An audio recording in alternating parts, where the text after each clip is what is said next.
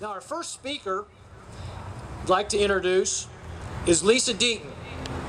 Lisa is very active locally with We the People. She and her husband Jim were instrumental in getting the ball rolling and motivating people like you and me to get out and get involved.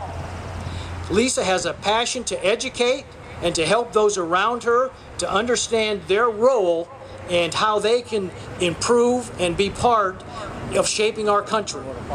Lisa isn't shy about sharing her views with those in City Hall or county government or even the mayor's office.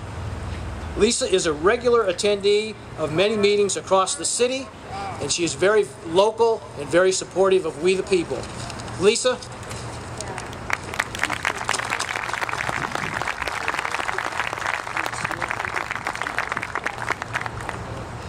I need a stool. Sorry.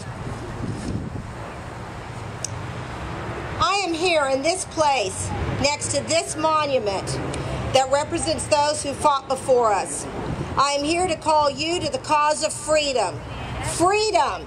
The freedom William Wallace fought for in Braveheart. The final words that came from a fighter for a cause greater than himself. Freedom! The action that led Benjamin Martin and the Patriot to carry a battered flag past his fellow retreating troops, yelling, Hold the line, stay the course. Freedom, the kind that led 400 plus men to give up their lives in the Spanish mission.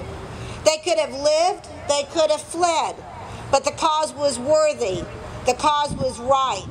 Remember the Alamo, freedom. The very fabric of our founders was the dream of freedom. Our lives, our fortune, our sacred honor was their creed. To know the truth, but to do nothing is to give our liberty away without a fight. The framers of our great nation was given a gift by the Creator. The Constitution that would protect our liberty and was to serve as our internal foundation. My Lord gave me my freedoms, and no government shall take them away.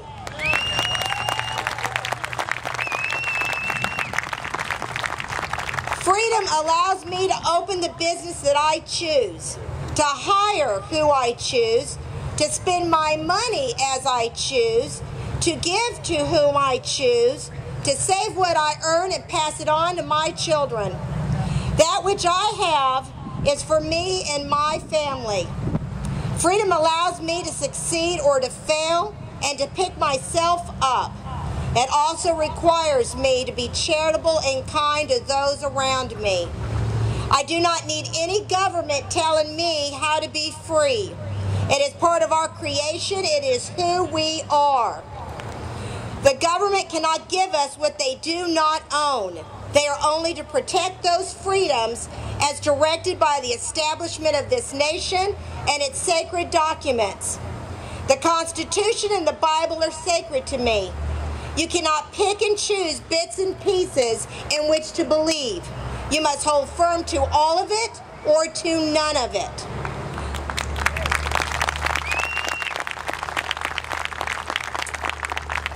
The line has been drawn in the sand. The sleep has been wiped away from our eyes. This nation can no longer turn back now that they know the truth. What is that truth? Our very freedom is at stake, and if you do not stand up to protect this land for your children, who will? The day may come when we will again be free to live as our Creator intended, but that is not this day. The day may come when we will no longer need to be diligent in the care of our nation and the governing of it. But that day is not this day. This is the day that you reaffirm your commitment to this nation.